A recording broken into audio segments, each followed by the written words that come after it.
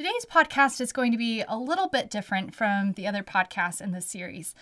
The lesson material is on Jacob chapters 1 through 4, where, of course, we find Jacob's sermon to the Nephites, specifically the Nephite men, where he focuses on virtue, he focuses on chastity, and the dangers and the sins that had come among the Nephite nation. And as I was preparing for this lesson, I just felt strongly like I should share some of my story and the things that have been beneficial to me in this area. This is a little bit vulnerable to me. I've never really talked about this subject too much publicly. And uh, so, if you'll bear with me, I want to share some things that are close to my heart in the hope that someone listening will be able to be helped by this.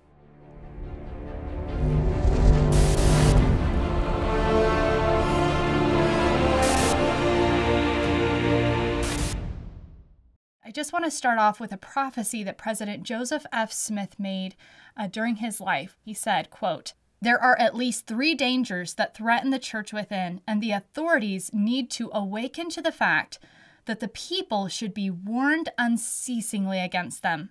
As I see these, they are the flattery of prominent men in the world, false educational ideas, and sexual impurity. End quote. The prophet Joseph Smith made a similar prophecy during his life, where he told the members of the Quorum of the Twelve when they were first organized that, quote, the elders of Israel, and particularly the 12 apostles, would receive more temptations, be more buffeted, and have greater difficulty to escape the evil thrown in their way by females than by any other means. Of course, he's referring to morality and chastity here. This is one of Satan's most powerful auxiliaries with which to weaken the influence of the ministers of Christ and bring them down from their high position and calling into darkness, shame, and disgrace. You will have to guard more strictly against that than against any other evil that may beset you. Make up your mind not to yield for one moment to the subtle insinuations of the animal propensities of your natures while you are absent on the Lord's errands. End quote. In the book of Jacob, Jacob warns that it was immorality that was one of the significant, if not the primary contributor to the downfall of the Nephites. In chapter 3, verse 3, he says, Woe, woe unto you that are not pure in heart, that are filthy this day before God. For except ye repent, the land is cursed for your sakes and the Lamanites, which are not filthy like unto you. Nevertheless, they are cursed with a sore cursing. They will scourge you even unto destruction. Now, in this podcast, I'm going to speak as a young single adult member of the church. I'm not married, uh, even though I have seen some of the funniest and craziest rumors, especially online, as our family kind of moved into the spotlight, challenging progressive narratives and different things like that. I've heard everything from that I'm secretly someone's plural wife or um, just all sorts of other funny, very funny rumors. Um, I'm sorry, it's more boring than you think. I'm just a young single adult and a member of the church, and I have some experiences, and I'd like to speak to a little bit of what helped me to stay chaste and stay virtuous that worked for me.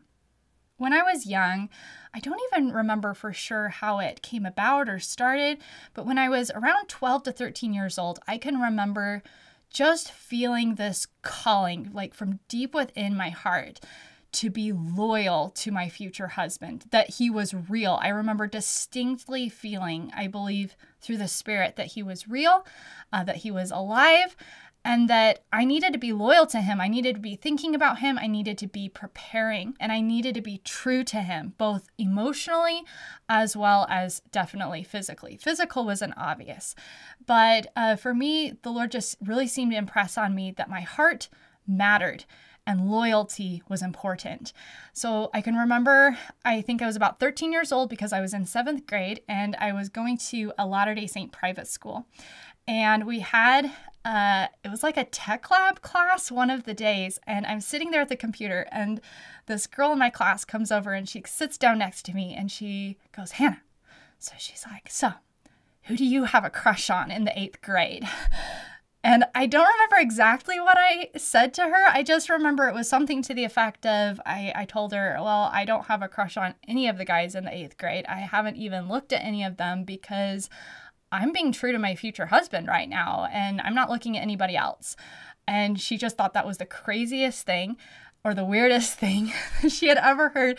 And let's just say before that period was over, everyone in the class knew what I had said. And they were running to the teacher and they're like, Can you believe what Hannah Stoddard said? And she believes in arranged marriages. And I was like, like, not really arranged marriages. I mean, like, okay, yeah, I guess God picks the person you're going to marry. I guess if you call that an arranged marriage, but I, I wasn't saying that. I was just saying, you know, I'm I don't think I'm going to marry any of those guys in the 8th grade. So I'm not worried about them. I'm thinking about somebody else. And there's only one guy I'm going to marry and I'm thinking about him. And so and this wasn't really something that came from my parents. I don't really remember a lot of conversations about this, but it was just something that was just so deep in my soul. I mean, there were sometimes where we would talk as a family about the importance of preparing for marriage one day and and why that was critical and uh, my dad was definitely a hopeless romantic. So if you've ever seen the movie The Inheritance, uh, which is based, it's loosely based, the movie is really good. It's loosely based on a book by Louisa May Alcott. Um, but there's this scene where the heroine and the hero, who of course end up getting married in the end, spoiler alert, but the first time they meet and they look at each other and it's love at first sight. And my dad would be like, that's them remembering each other from the premortal life. I remember that. I remember that so distinctly. And so there was a little bit um, sometimes of, you know, just those conversations of just remembering, you know, you made covenants before this life. Um, but it was more my own thoughts. I just felt deep within my soul loyalty is important. And later, I found this quote from John Taylor that really resonated with me. President John Taylor was speaking to the women of the church. It's called The Origin and Destiny of Women. And he told the women, he said, quote, You chose a kindred spirit whom you loved in the spirit world, who had permission to come to this planet and take a tabernacle, to be your head, stay, husband, and protector on earth, to exalt you in eternal worlds. All these were arranged, likewise, the spirits that should tabernacle through your lineage. Thou hast chosen him you loved in the spirit world to be thy companion. End quote. Now, I don't know if this is the case for everyone, if John Taylor was just speaking to those who are aiming for a celestial marriage, um, but there was something inside of me where I knew from the Spirit that this was the case for me and that I needed to be true to that covenant. Now, I want to be clear as I'm talking about this that I was not anyone special. If I had grown up in a different family, in a different environment, I really think knowing my nature and my personality, I probably would have sunk. And so I have a lot of empathy. I have so much empathy for kids out there um, who struggle. To be honest, I don't know how most kids survive as good as they do when you think about um, the music and the movies, the billboards, everything around us, even even things like the hormones and things that are put in the foods that just mess up emotions and everything. I I think that there are so many that are so amazing for being able to stand their ground and be as strong as they do. Um, and so it wasn't just God working on my heart saying, Hannah, you need to be loyal and you need to be thinking about this. But I was also blessed with an amazing family environment, an environment of just purity where it was easier to be virtuous and to keep those covenants. And the reason why I bring this up is because I think most of our battle right now with helping the youth to keep their standards and to be chaste is the environment. So, growing up in our home, we had only the best music. Um, my dad had discovered the teachings of the presidents of the church on rock music when he was a BYU student, and he was someone who had a lot of faith. So even when at first he didn't understand, he um, he would tell us how at first he thought this seems extreme, this seems harder then um, I don't understand why they would teach these things, but he went ahead and he cleaned out his music. He acted on faith, and faith preceded the miracle, and he got his testimony and his witness and his understanding later on. Um, but he raised us in that environment with the only the best music, um, only the highest standards of movies. Absolutely no movies with any sex scenes, even if they're cut. My dad would say if the director put that in there, he's going to be filtering his values through the other scenes as well. We don't want it. We don't want the trash. Um, so only the very best movies. Um, we would watch um, some good movies like uh, one of the adaptations of Sense and Sensibility, the one with Emma Thompson, and my dad would pause all the way through and be like, "Okay, do you see how she's teaching love versus lust? This is what lust is. This is what love is. This is the difference, and you got to understand the difference." Um, I grew up in a home where you had to seek out pornography to find it.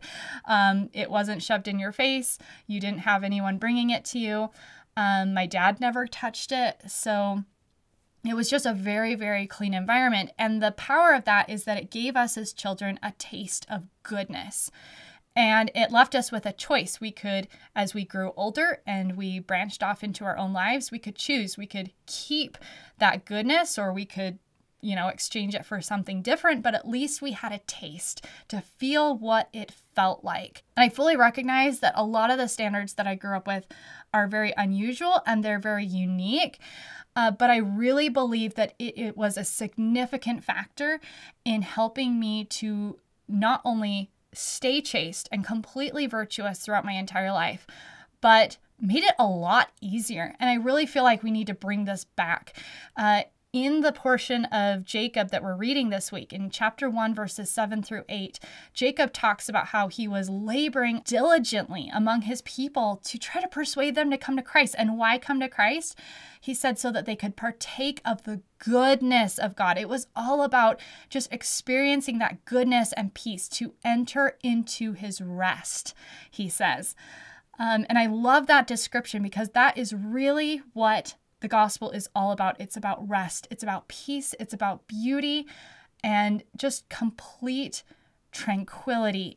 Just it's per- it's perfect peace.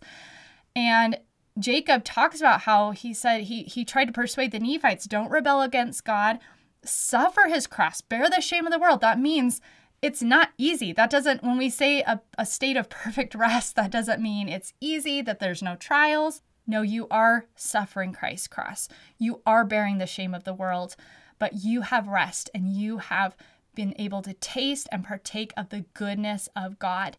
And so many people, when they look at higher standards or they look at um, even things that the presidents of the church have taught, they see restrictions and they see hardship, but they're completely missing the point and they're completely missing the joy and the light and the peace and the goodness. The other thing that was very powerful about our home environment was learning what real love was. And one of the ways that was really effective for that was studying good examples. So, for example, we read President Benson's biography and seeing uh, the story of him and his wife Flora, what that looked like, the dynamic. Just we had good, healthy visuals to see what does this look like and how do we uh, build this. Um, my dad absolutely loved Jane Austen's books. Um, this is very separate and very different from how a lot of people see the whole Jane Austen fan community, what it's been turned into. Um, some of the movies are not appropriate, uh, some of them are amazing. Um, but really, back to when I say Jane Austen, I mean the books. I mean her message, which is actually filled with the gospel. She has gospel principles all through them, they're packed. And my dad would love those books, and he would tell us to read them and to use them as a tool to understand what real love was. So, this leads me to the final point uh, that I really feel is important and was absolutely life changing for me. And that was coming to understand what real love is. I can remember my dad commenting a lot growing up saying, There's a difference. There's real love and there's this false lust, and there's a difference between the two. But while I felt like I understood him, looking back, I can see I didn't really understand. And it was something that God had to teach me line upon line over time. Now, as I grew older, that feeling of loyalty did grow. I had a dream when I was in my teens and just some different experiences that just impressed on my mind. I want to be true to this and I'm going to keep these covenants. Like I would die before these covenants were broken. I just began watching everything going on around me, um, becoming more aware of the culture, and also watching choices that friends were making and watching um, devastation, watching heartbreak after heartbreak after heartbreak. I just remember feeling like this is not what I want. I'm going in opposite direction. I, I could see daily uh, what I didn't want to be or be like or become or experience. Um, seeing the good was harder. And for myself, as I kept seeing over and over what I didn't want, uh, uh, it caused me to run the opposite direction. And in running the opposite direction, how I dealt with that was I just decided just to close the whole subject. I just shut the whole thing down. I even made a decision. I was like, you know what? I'm not going to read any of these books by Jane Austen. I'm not even going to really spend any time watching the movies because I don't want anything that's going to mess me up and I don't know what the truth is. And so I'm just going to avoid the entire thing. And, you know, that was fine because I was at periods of my life where I had other priorities and everything like that. Um, but my dad and I actually had disagreements over this subject uh, because he kept saying, no, Hannah, like, there there there there is a true version. There's there's nothing wrong with these books. You got to embracing the good is not going to put you at risk of being deceived by the counterfeit. Um, the more you actually understand the good and you understand the truth the more easily you'll be able to resist or uh, turn off a, a false or fake version. And i and i just didn't understand that. And i had to over time, God had to work with me and take me through experiences so that I could. And that is a story for another time. But what I will say about it is that it had to be the work of God. And that is one of the things that I think is most important that our youth need to know is that number one, the only way to understand purity, understand goodness, and understand um, true attributes of God. And that includes romantic love. That includes, this is part of the gospel, it's part of eternity, it's part of the celestial kingdom. The only way to, to understand that is to have God reveal it to you and that God does speak. And there is a verse that Jacob mentions in his sermon to the Nephites when he's talking about um, chastity and virtue. I, I absolutely love this. He's talking about Jesus Christ and God, but he says how unsearchable are the depths of the mysteries of Him, of, of God. It is impossible that man should find out all his ways. So he's saying, There's no way you're going to know God just with your finite mind. He says, No man knoweth of his ways, save it be revealed unto him. Wherefore, brethren, despise not the revelations of God. End quote. This is one of the most life changing verses in my life. I can bear testimony to this. God has to teach you what real love is. God has to teach you the difference, and it has to be done through revelation. That is something that, if there's one thing you take away from this, I want you to remember that God does speak and he will speak to you and he wants to speak to you. He wants to teach you about his life. And it's not something that will just happen one day in the millennium, you know, one day when we get all those questions answered. No, it can happen today. It happened for all of the prophets. They talked and they walked with God, they had their questions answered. We can have our questions answered as well. So God does speak. He has spoken to me, He can speak to you. And one of the tools that God used to bring me to the point where I was open to having questions and, and going down this journey was actually getting into the teachings of Joseph Smith and other prophets. Um, shortly after my dad passed away, I made a commitment, and I've talked about this story at other times and other places. Um, but I made a commitment to really dive deeper into Joseph Smith's teachings.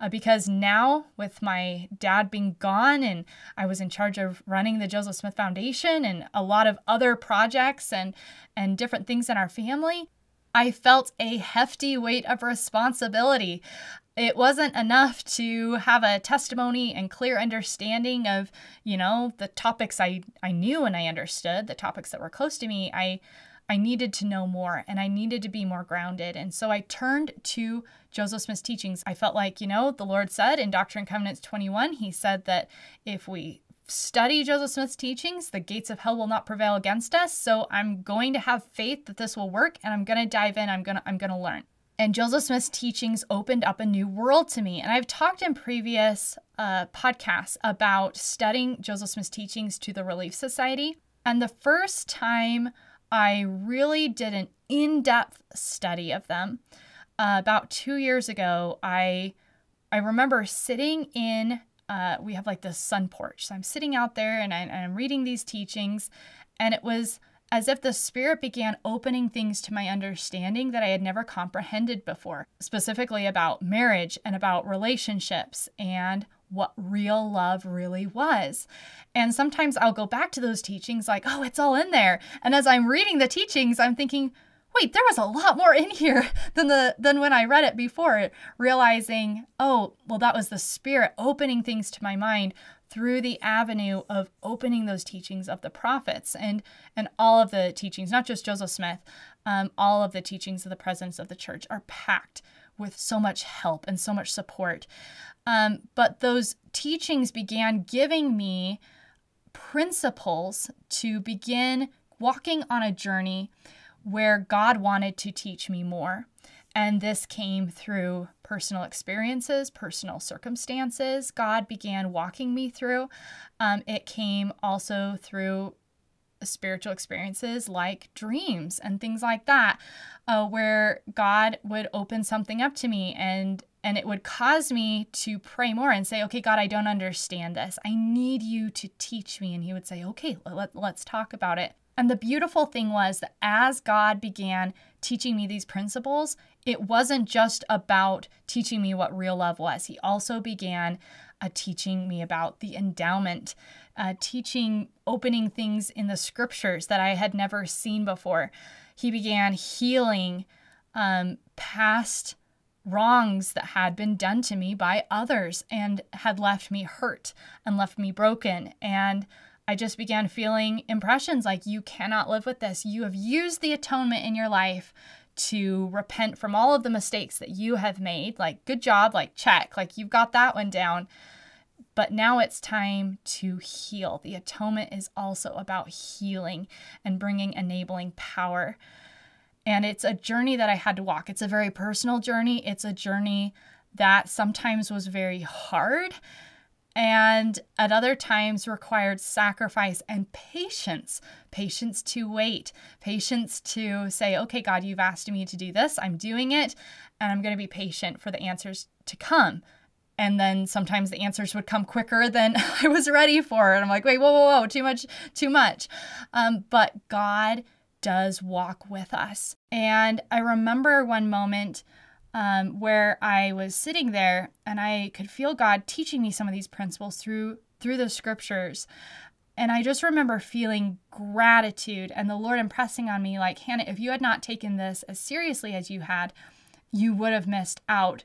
Um, so I do believe that having those standards, I do not regret in any way. I do not regret um, living as high of standards as I did. I don't regret it for a minute but it could have been easier uh, navigating um, just some situations, um, some experiences in my life. It, it could have been easier if I had understood that you need to understand what true love is and use the tools. I believe there are tools to do so.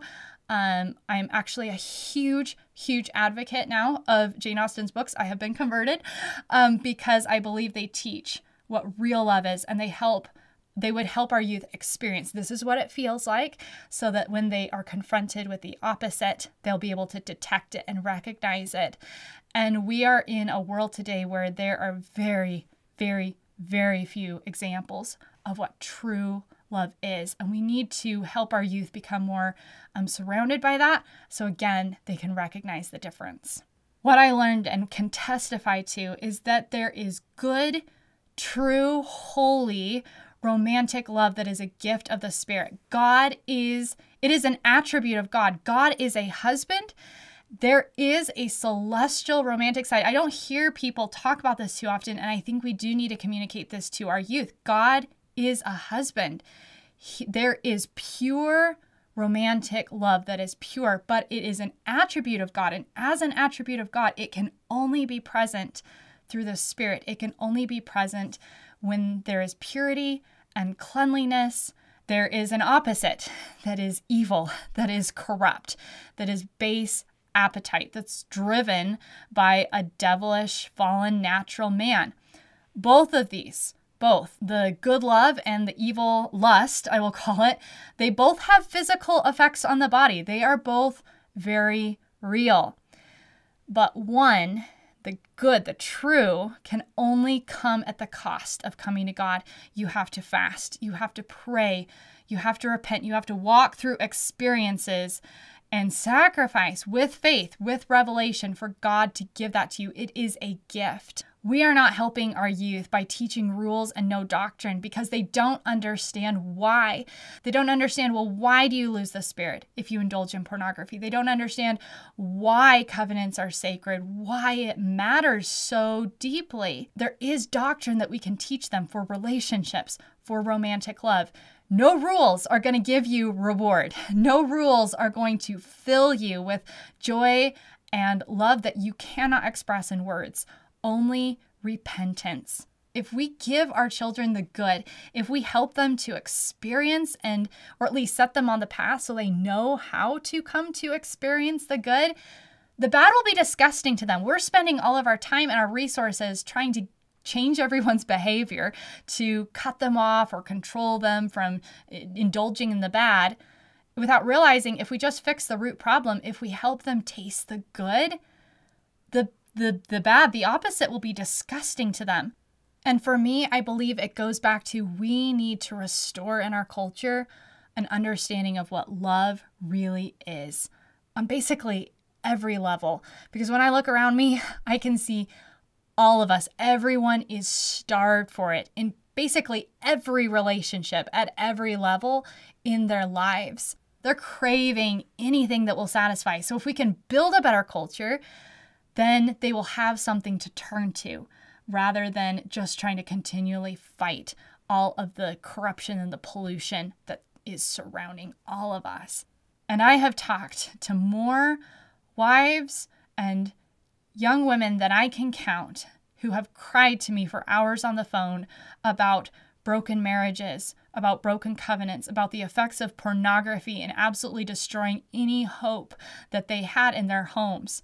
I have seen the heartbreak, and I just have this feeling that it's all unnecessary. I remember at around 16 or 17 sitting in our the dining room that our family had and we had these big windows and looking out across utah lake you could see all of utah lake um, from this dining room that we had and i remember just looking out the window and i just had this feeling that god doesn't want us to suffer and it feels like today we almost have created this culture in this environment where we feel like it's necessary to suffer. Now, I'm not talking about sacrificing for Jesus Christ. I'm not talking about the sacrifices in the scriptures. I'm talking about unnecessary suffering that just comes from the way that we live and this environment that we've created for ourselves. Unnecessary suffering as a consequence of our standards. And I really feel like we are so broken as a people and we have so much hurt and so many counterfeits and so many fake versions and just just corruption out there that there is no way that any of us are going to be able to understand this unless we go to God. But God wants to teach us. He wants to teach us what it looks like to be a wife, to be a mother, to be a husband, to be a father what a perfect romantic relationship looks like in his kingdom. And it is different than what the world promotes. But he has something that is so beautiful and it is so good. And the beautiful thing that I have learned about God is his plan is yes, it's hard and it requires sacrifice, but the despair and the depression and the wandering and the confusion and the heartbreak that in the world we're taught is necessary is not necessary. God's plan does not include despair. God's plan does not include anxiety. It does not include depression. And He has something better for us. And we can find that better thing if we will turn to Him. I know it. I've experienced it for myself, and I know He can do it for every single person listening to this podcast. So, as I close out this podcast, I hope there is something that I've said today that will be helpful to someone, that will resonate with someone. Um, I'm sure this is very a little disjointed and not as smooth as most of my other podcasts and presentations out there. This is the very first time I have ever talked about this publicly, and it's very vulnerable for me. I'm going to be honest. So bear patiently with me on that um, because it is something that is so close to my heart and so special and precious. It's something that I've had to gain through sacrifice and gain through um, beautiful experiences and also hard experiences. But to be honest, it has brought me closer to God and understanding who God is and also finding repentance and healing than almost any other area in my life. And so, if there's something that I have said that resonates with someone here, I just want to say one thing if you are someone who has a broken past and you're listening to this and you're thinking, okay, well, this is what I would want, but I come from this, or I've committed this sin in my life, or I have this in my past, I want you to remember that Jesus Christ can heal anything. And you have to have faith in that and put trust in that.